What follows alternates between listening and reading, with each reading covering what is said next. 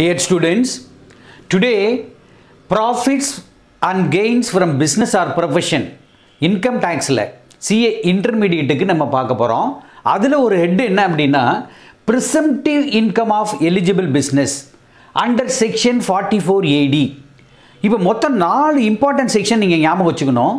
Forty four ஏபின்னு ஒன்று இருக்குது forty four ஏடின்னு ஒன்று இருக்குது ஃபார்ட்டி ஃபோர் ஏடிஏ அப்படின்னு ஒன்று இருக்குது இன்னொன்று ஃபார்ட்டி ஃபோர் ஏஇ அப்படின்னு இருக்குது அதை பேஸ் பண்ணி ஒரு ரெண்டு சம் நம்ம இப்போ போட போகிறோம் இந்த ஃபார்ட்டி ஃபோர் ஏபி அப்படிங்கிறது இப்போத்தி லிமிட்டு முதல்ல வந்து சிக்ஸ்டி லேக்ஸ் இருந்தது அப்புறம் ஒன் குரோர் ஆனது ஒன் குரோர் ஃபிஃப்டி லேக்ஸ் ஆச்சு. இப்போ டூ குரோர்ஸ் அப்போ ஒரு கம்பெனியோட டர்ன் ஓவர் டூ குரோர்ஸுக்கு மேலே எக்ஸீட் ஆச்சு அப்படின்னா அது வந்து கம்பல்சரி ஆடிட்டிங்கில் போகணும். அந்த கம்பல்சரி ஆடிட்டிங்கில் போகிறது மட்டும் இல்லை. அவங்க என்ன பண்ணனா ப்ராப்பர் புக்ஸ் ஆஃப் அக்கௌண்ட்ஸ்லாம் மெயின்டைன் பண்ணோம் அப்புறம் அது வந்து தான் இந்த டேக்ஸ் ஆடிட் அப்படிங்கிற மாதிரி. அப்போ நீங்கள் வந்து கம்பல்சரியாக நீங்கள் டேக்ஸ் பர்வியூவில் வந்துடணும் ஆனால் இப்போ டூ க்ரோர்ஸ் நீங்கள் ரீச் ஆகலை. அப்போ நீங்கள் பாருங்கள் இப்போ ஒரு ஒரு கம் கன்சர்ன் இருக்குது டூ க்ரோர்ஸ் ரீச் ஆகலை. அப்போ அவங்க ஃபார்ட்டி ஃபோர் ஏபிக்கு போக தேவையில்லை. அப்போ ஃபார்ட்டி ஃபோர் ஏடி அது கீழே அவங்க என்ன பண்ணலாம் அப்படின்னா அக்கௌண்ட்ஸை ஃபர்னிஷ் பண்ணலாம். அது பிரகாரம் நீங்கள் பார்த்தா அதுக்கு பேர் தான் presumptive income of eligible business அப்போ சில பிஸ்னஸஸில் என்ன பண்ணலாம் ப்ரிசம்டிவ் நீங்களே அசியூம் பண்ணிக்கலாம். இவ்வளோ டர்ன் ஓவர் ஆகிருக்கு அப்போ இவ்வளோ ரேட் இன்கம் டேக்ஸு நம்ம இதை கட்டினா போதும்னு நீங்களே கொண்டு போய் கட்டிடலாம். அதுக்கு பேர் தான் presumption presumptive income of eligible business அப்படிங்கிறது. அதில் வந்து பாருங்கள் என்னென்னு பாருங்கள் எலிஜிபிள் எஸ்எஸ்சி யார் அப்படின்னா ரெசிடென்ட் இண்டிவிஜுவல் ஹச்யூஎஃப் ரெசிடென்ட் இவங்க எல்லாமே ரெசிடென்ட் தான். Resident individual resident HUF resident partnership firm இவங்கெல்லாம் எலிஜிபிள் எலிஜிபிள் பிஸ்னஸ் அப்படின்னா என்னென்னா இந்த ஃபார்ட்டி ஃபோர் ஏஇன்னு ஒன்று இருக்குது அதில் பிரகாரம் பார்த்தீங்கன்னா இந்த டிரான்ஸ்போர்ட் வெஹிக்கிள்ஸ்லாம் வச்சுட்டு இருப்பாங்க. அவங்க அந்த பிஸ்னஸாக இருக்கக்கூடாது. Except the plying of goods carrying I mean carriages under section forty four AE அதில் இல்லாமல் இருக்கணும். அதே சமயத்தில் whose turnover does not exceed two crores ரெண்டு கோடி ரூபாய்க்கு மேலே டர்ன் ஓவர் ரீச் ஆகாமல் இருக்கணும். அவங்கெல்லாம் வந்து இதுக்கு எலிஜிபிள் அப்போ ரேட்டு டேக்ஸ் ரேட் என்ன அப்படின்னா மொத்த டர்ன் ஓவர் எவ்வளோன்னு பாருங்கள் அந்த டர்ன் ஓவரில் ரெண்டு கோடி ரூபாய்க்கு மேலே போகல. ஃபார் எக்ஸாம்பிள் ஒன் குரோர் தான் வருது அப்படின்னா அதில் எயிட் பர்சன்ட் அப்படி டைரெக்டாக நீங்கள் எவ்வளோ அப்படின்னு கால்குலேட் பண்ணி நீங்கள் eighty thousand rupees I mean எவ்வளோ வருது மாதிரி எயிட் பர்சன்ட் அப்படின்னா ஒன் லேக்கில் எயிட் லேக் ருபீஸ் ஒன் குரோரில் எயிட் லேக் ருபீஸை வந்து நீங்கள் டேக்ஸாக கட்டிடலாம். சரி இந்த லோயர் ரேட்டு அதுக்கு லோயர் ரேட்டு உண்டு. சில கேசஸில் வந்து இப்போ eight பர்சன்ட்ங்கிறது correct slab but lower rate of tax உண்டு. அது வந்து சிக்ஸ் பர்சன்ட்டு அது எந்த கேஸில் தருவாங்க அப்படின்னா உங்கள் டர்ன் ஓவர் நான் ஒன் குரோர்னு சொல்லியிருந்தேன் இல்லையா? இல்லை டூ குரோர் வரைக்கும். எந்த டர்ன் ஓவராக இருந்தாலும் நீங்கள் எல்லா டர்ன் ஓவருமே அக்கௌண்ட் பே டிரான்சாக்ஷனாக இருக்கணும். செக் ட்ரான்ஸ்ஃபராக இருக்கணும். இல்லை டிடி டிரான்சாக்ஷனாக இருக்கணும். இல்லை என்ன சொல்கிறது அப்படின்னா ஆன்லைன் பேங்கிங் டிரான்சாக்ஷன் மூலமாக அப்போ பேங்கிங் டிரான்சாக்ஷன் மூலமாக வர்ற சேல் ப்ராசீட்ஸாக இருந்தால் டர்ன் ஓவராக இருந்தால் அதில் நீங்கள் கா காட்டும்போது சிக்ஸ் பர்சன்ட் யூஸ் பண்ணிக்கலாம். அப்போ நீங்கள் ஒன் குரோர் வந்தது அப்படின்னா அதுக்கு சிக்ஸ் பர்சன்ட் எவ்வளோ அப்படின்னு சொல்லிட்டு சிக்ஸ் பர்சன்ட் மட்டும் டேக்ஸ் கட்டிக்கலாம். அந்த கேஸில் என்ன பண்ணுவோம்? எயிட் பர்சன்ட் டேக்ஸ் கட்டுவோம். இப்போ சிக்ஸ் பர்சன்ட் டேக்ஸ் கட்டுவோம். ஆச்சுங்களா? அடுத்தது ஃபார்ட்டி ஃபோர் ஏஇ அப்படிங்கிறது என்னன்னு பார்ப்போம் இப்போ. இப்போ செக்ஷன் ஃபார்ட்டி ஃபோர் ஏஇ என்ன சொல்லுது அப்படின்னு பார்த்தீங்கன்னா the presumptive income of playing goods carriages இப்போ கண்டெய்னர் லாரி லாரி எல்லாம் வச்சுருக்காங்க இல்லையா? ஒரு கூட்ஸை வந்து ஒரு இடத்துல இருந்து இன்னொரு இடத்துல எடுத்துகிட்டு போகிறதுக்கு அந்த மாதிரி வெஹிக்கிள்ஸ் வச்சுருந்தா அதுக்கு ப்ரிசன்டிவ் இன்கம் எப்படி நம்ம கால்குலேட் பண்ணலாம்? அதுதான் வந்து செக்ஷன் ஃபார்ட்டி ஃபோர் ஏஇ அப்படிங்கிறது. இதில் எலிஜிபிள் பர்சன் அப்படின்னா ஒரு அசசி வந்து எவ்வளோ வச்சுருக்கணும் அப்படின்னா not more than ten vehicles இப்போ கண்டெய்னர் இல்லை லாரி கண்டெய்னர் லாரின்னு வச்சுங்களேன் பத்து வெஹிக்கிள்ஸுக்கு மேலே இல்லாமல் கம்மியாக வச்சுருந்தாங்க அப்படின்னா அவங்களாம் எலிஜிபிள் சரி அவங்களுக்கு அமௌண்ட் ஆஃப் ப்ரிசென்டிங் இன்கம் எவ்வளோ அப்படின்னா ஒரு வெஹிக்கிளுக்கு ஒரு மாதத்துக்கு seven thousand five hundred rupees அப்போ எத்தனை மாதம் யூஸ் பண்ணுறாங்க அப்படின்னு பார்க்கணும். இது வந்து நீங்கள் இப்போ நீங்கள் என்ன பண்ணலாம்? ப்ரிசென்ட் இன்கம் அப்போ நீங்கள் பத்து வெஹிக்கிள் வச்சுருக்காங்க அப்படின்னா ஒரு வெஹிக்கிளுக்கு ஏழாயிரத்தி ஐநூறுரூவா மாதிரி. ஒரு அப்போ பன்னெண்டு மாதத்துக்கு அந்த மாதிரி பத்து வெஹிக்கிளுக்கு அப்படின்னு கேல்குலேட் பண்ணி இதுதான் இன்கம் அப்படின்னு பார்த்துட்டு அதில் என்னென்ன டிடெக்ஷன்லாம் கழிக்கணுமோ இப்போ என்ன சொல்கிறது சாப்டர் சிக்ஸ் ஏ அது பிரகாரம் என்னென்ன டிடெக்ஷன் வருதோ அதெல்லாம் டிடெக்ட் பண்ணதுக்கப்புறம் வர அமௌண்ட்டு தான் உங்களுக்கு income under the head profits and gains of business or profession அப்படின்னு போடலாம். இப்போ இந்த ஏழாயிரத்தி ஐநூறுரூபா சில நேரங்களில் என்ன பண்ணுவாங்க? நிறைய ஜா ஏர்னிங் வந்து ஜாஸ்தி இருக்குன்னு வச்சுங்க அசசிக்கு இப்போ அவரே சொல்கிறார் இல்லை இல்லைங்க ஏழாயிரத்தி ஐநூறுரூவா இல்லை எனக்கு டென் தௌசண்ட் வருது அப்படின்னு சொன்னார்னா அப்போ அதை எடுத்துக்கலாம். அப்படி இல்லைங்கிற பட்சத்தில் seven thousand five hundred rupees தான் எடுத்துக்கணும்.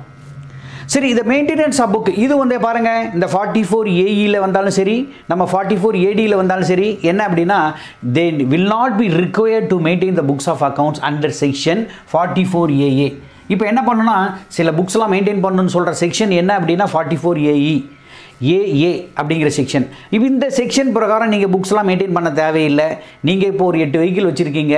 எட்டு வெஹிக்கிள்ஸில் ஒரு பன்னெண்டு மாதத்துக்கு ஏழாயிரத்தி ஐநூறுரூவா மாதிரி ஒரு வெஹிக்கிளுக்கு கால்குலேட் பண்ணி அதை இன்கமாக காமிச்சு அதில் என்னென்னலாம் டிடெக்ஷன் பண்ணுமோ பண்ணிவிட்டு அதை காமிச்சா போதும்.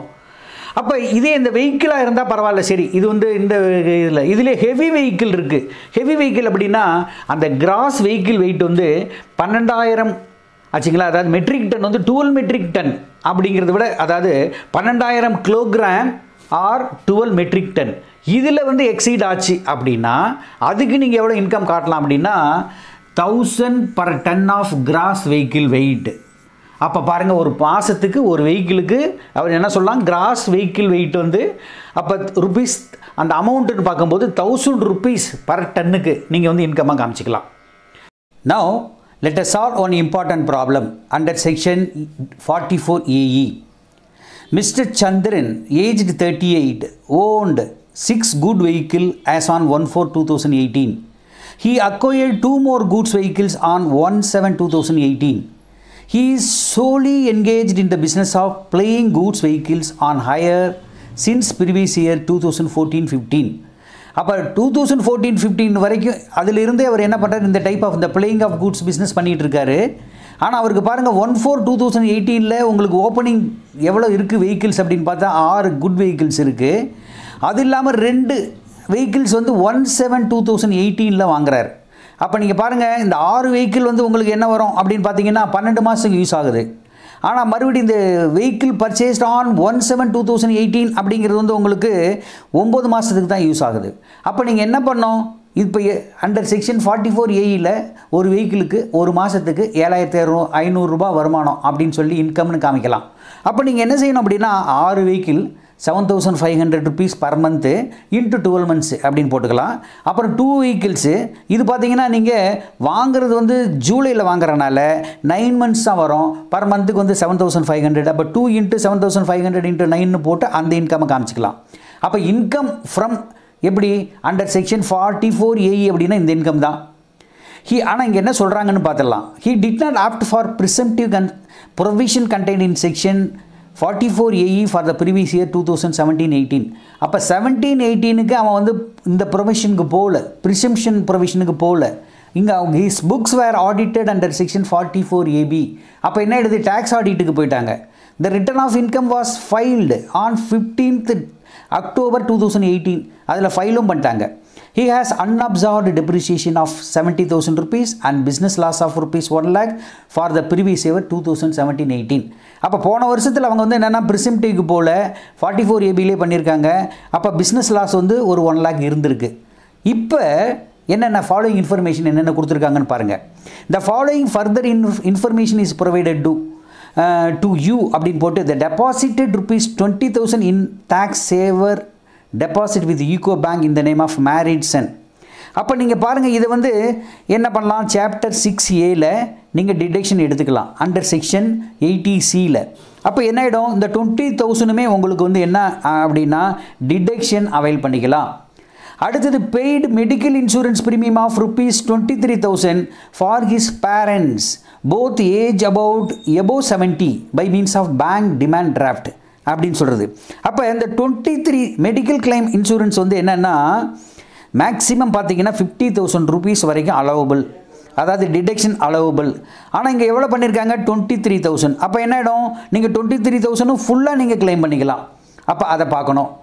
அடுத்தது paid premium on life insurance policy of his married daughter அப்போ மேரீடு டாட்டருக்கு லைஃப் இன்சூரன்ஸ் பாலிசி ஒரு டுவெண்ட்டி ஃபைவ் தௌசண்ட் கட்டியிருக்காங்க. இதுவும் அண்டர் செக்ஷன் எயிட்டி சியில் எல்ஐசி ப்ரீமியம் பெய்டு அப்படிங்கிறது வந்து உங்களுக்கு டிடக்ஷன் வந்துடும் சாப்டர் சிக்ஸ் ஏல and then repaid principal of rupees forty thousand and interest of rupees fifteen thousand to Canara bank towards education loan of his daughter our doctor loan வாங்கினதுக்கு education loan வாங்கினதுக்கு என்ன பண்ணுறாங்க repay பண்ணியிருக்காங்க ஒரு நாற்பதாயிரரூபா principal repay பண்ணியிருக்காங்க interest வந்து ஒரு ஃபிஃப்டீன் தௌசண்ட் ருபீஸ் பே பண்ணியிருக்காங்க அவன் அந்த அந்த கேள் வந்து என்ன எடுத்து பிஇ முடிச்சிடுச்சு ரெண்டு வருஷத்துக்கு முன்ன. She is employed after the completion of her studies இப்போ என்ன பாரு அப்படின்னா டிபெண்ட் இல்லை. இவரை டிபெண்ட் பண்ணி இல்லை. ஆனால் எஜுகேஷன் என்ன? இவர்கிட்ட டிபெண்டாக இருக்கும்போது தான் எஜுகேஷன் லோன் வாங்கியிருக்காங்க. அப்போ என்ன வரணும்னா deduction under section eighty E shall be eligible irrespective of whether children are depend or not அவங்க டிபெண்ட்டாக இல்லையா அப்படிங்கிறத பற்றி பொறுத்து இல்லை. அப்போ நீங்கள் எஜுகேஷன் லோனுக்கு வந்து இன்ட்ரெஸ்ட் ஆன் லோனை மட்டும் நீங்கள் என்ன பண்ணலாம்? டிடெக்ஷன் அண்டர் சாப்டர் சிக்ஸ் ஏல நீங்கள் கிளைம் பண்ணிக்கலாம். அப்போ பாருங்க.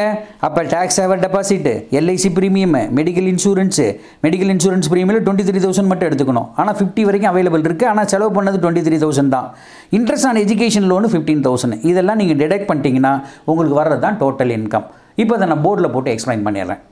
ஓகே இப்போ சொல்யூஷன் பார்க்கலாம்.